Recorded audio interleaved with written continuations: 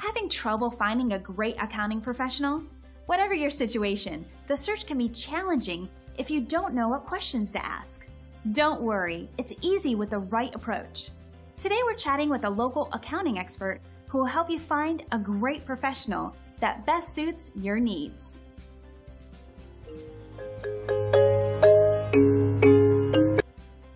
Pretty interesting, isn't it?